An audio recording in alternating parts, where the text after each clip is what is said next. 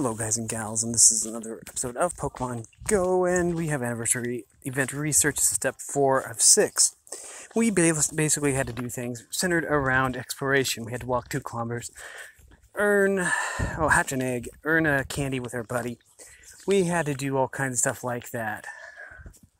It all basically centered around also taking snapshots and stuff like that. So, anyways, let's claim this 20 Pokeballs. Uh, three of those.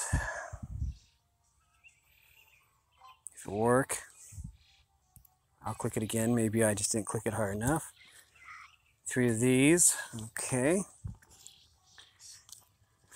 Uh, okay, I click these and nothing happens. I think I'm just really, really lagging or something. I don't know what the problem is. Oh well. So anyway, I'm trying to get to scroll up and so Okay, you're not scrolling up for some reason. Okay. There, now you're scrolling up. Definitely take this for candy. This.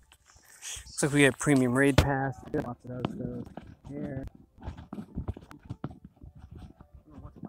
Now it's all the way up. Fine. This.